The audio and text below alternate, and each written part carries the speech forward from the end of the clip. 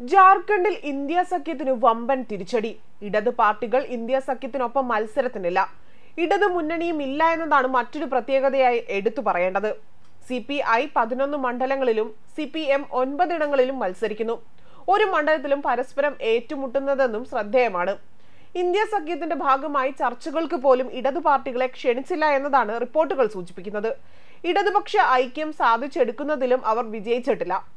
C P I M L party India സഖ്യത്തിന്റെ ഭാഗമായി നാല് സീറ്റുകളിൽ മത്സരിക്കുന്നുണ്ട്. സി പി ഐക്കും സി പി എമ്മിനും ഇതുവരെ സീറ്റ് ധാരണയായിട്ടില്ല എന്നതാണ് റിപ്പോർട്ടുകൾ വ്യക്തമാക്കുന്നത്.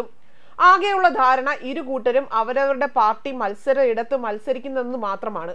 എന്നാൽ ചിത്ര മണ്ഡലത്തിൽ സി പി എമ്മും സി പി ഐയും സ്ഥാനാർത്ഥികളുണ്ട്. പലതവണ സി പി ഐയുമായി ചർച്ചയ്ക്ക് ശ്രമിച്ചെങ്കിലും അവർ വഴങ്ങിയില്ല എന്നാണ് സി പി ഐ സംസ്ഥാന സെക്രട്ടറി പ്രകാശ് വിപ്ലവ് പറയുന്നത്. അവർക്ക് സ്വാധീനമില്ലാത്ത മണ്ഡലങ്ങളിൽ സ്ഥാനാർത്ഥിയെ സ്വയം തീരുമാനിച്ച് സഹകരിക്കാൻ പറയുകയാണ് എന്നും സി പി ഐ സംസ്ഥാന സെക്രട്ടറി മഹേന്ദ്ര പഥക് പറഞ്ഞു. അതേസമയം തിരഞ്ഞെടുപ്പ് കാലമായതുകൊണ്ട് പലയിടങ്ങളിലും വ്യാപകമായി മിന്നൽ റെയ്ഡ് നടക്കുകയാണ്. ആദായ നികുതി വകുപ്പാണ് റെയ്ഡ് നടത്തിയത്. ഇത് ജാർഖണ്ഡിലെ ഹേമന്ത് സോറൻ സർക്കാരിനെ വലിയ തിരിച്ചടിയാവുകയായിരുന്നു. മുഖ്യമന്ത്രി ഹേമന്ത് സോറനുമായി അടുത്ത ബന്ധം പുലർത്തുന്ന ഒരാളുടേതടക്കമുള്ള വസതിയിലും സ്ഥാപനങ്ങളിലുമാണ് റെയ്ഡ് നടന്നത്. നികുതി വെട്ടിപ്പുമായി ബന്ധപ്പെട്ടുള്ള അന്വേഷണത്തിന്റെ തുടർച്ചയായാണ് റെയ്ഡെന്നാണ് ആദായ നികുതി വകുപ്പ് ഉദ്യോഗസ്ഥർ വിശദീകരിക്കുന്നത്. തലസ്ഥാനമായ റാച്ചിയിലും ജംഷഡ്പൂരിലുമായി ഒൻപത് കേന്ദ്രങ്ങളിലാണ് ഒരേ സമയം റെയ്ഡ് നടക്കുന്നത്.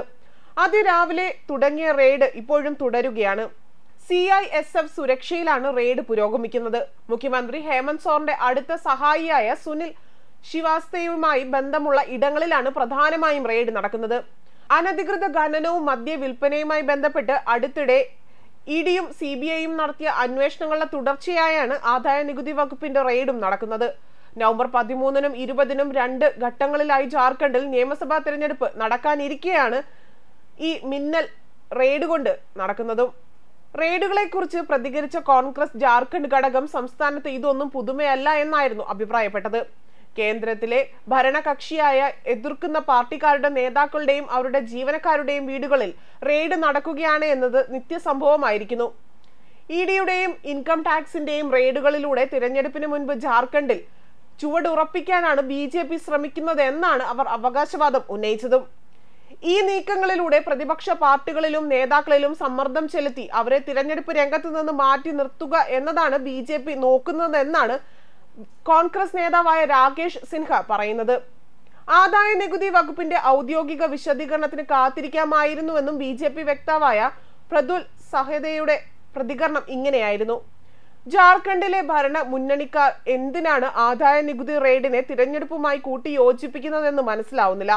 ആദായ നികുതി വകുപ്പ് റെയ്ഡിനെ കുറിച്ച് നൽകുന്ന ഔദ്യോഗിക വിശദീകരണം വരെ കാത്തു നിൽക്കാനുള്ള ക്ഷമ കാണിച്ചുകൂടെ എന്നാണ് അദ്ദേഹം ചോദിച്ചത്.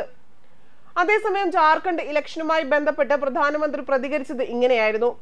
കോൺഗ്രസ് എല്ലായിടത്തും വ്യാജ വാഗ്ദാനങ്ങൾ നൽകി ജനങ്ങളെ കബളിപ്പിക്കുകയാണ്. ഹിമാചൽ പ്രദേശിൽ സർക്കാർ ജീവനക്കാർക്ക് ഡി എയും ശമ്പളവും ലഭിക്കാൻ സമരങ്ങൾ നടത്തേണ്ടി വന്നു. തെലങ്കാനയിലെ ജനങ്ങൾ ദുരിതം അനുഭവിക്കുകയാണ്. ഇത്തരം വ്യാജ വാഗ്ദാനങ്ങൾ സംസ്ഥാനങ്ങളെ നശിപ്പിക്കുന്നുവെന്നും മോദി പറഞ്ഞു. കേന്ദ്രത്തിൽ തുടർച്ചയായ മൂന്നാം തവണയും എൻ സർക്കാരിന് രൂപം നൽകിയത് നിങ്ങളാണ്. ജാർഖണ്ഡിലും അതേ അനുഗ്രഹം ഉണ്ടാകണമെന്നും വരുന്ന ഇരുപത്തി അഞ്ചു വർഷം രാജ്യത്തിന് വളരെ പ്രധാനമാണ് എന്നും രാജ്യം സ്വാതന്ത്ര്യത്തിന്റെ നൂറു വർഷത്തിലേക്കുള്ള യാത്രയിലാണ് എന്നും ജാർഖണ്ഡിന് അന്ന് അൻപത് വയസ്സ് തികയുമെന്നും അദ്ദേഹം പറഞ്ഞു. ജാർഖണ്ഡിലെ കർഷകർക്ക് മികച്ച സൗകര്യങ്ങൾ ഒരുക്കുന്നതിനുള്ള എല്ലാ ശ്രമങ്ങളും കേന്ദ്ര സർക്കാർ നടത്തുന്നുണ്ട്. വ്യവസായങ്ങൾ ജെ എം എം സർക്കാർ തടസ്സപ്പെടുത്തിയിട്ടും കേന്ദ്രം നിങ്ങൾക്കൊപ്പം നിന്നുവെന്നും രാജ്യത്തിന്റെ ഓരോ തരിമണ്ണും വികസനത്തിലേക്ക് കുതിക്കുകയാണ് എന്നും ബി ജെ പി അതിനായി ആഗ്രഹിക്കുന്നുവെന്നും അദ്ദേഹം പറഞ്ഞു. വനവാസി തനിമയെ ഇന്ത്യ മുന്നണി നേതാക്കൾ അപമാനിക്കുകയാണ്. ചെമ്പൈ സോറിനോട് അവരെന്താണ് ചെയ്തത്? കുടുംബാധിപത്യ പാർട്ടികളാണ് കോൺഗ്രസും ജെ എമ്മും. അതുകൊണ്ടാണ് അവർ ഗോത്രവർഗക്കാരനായ ചെമ്പൈ സോറിനെ അപമാനിച്ചതെന്നും അദ്ദേഹം പറഞ്ഞു. News desk Karma news.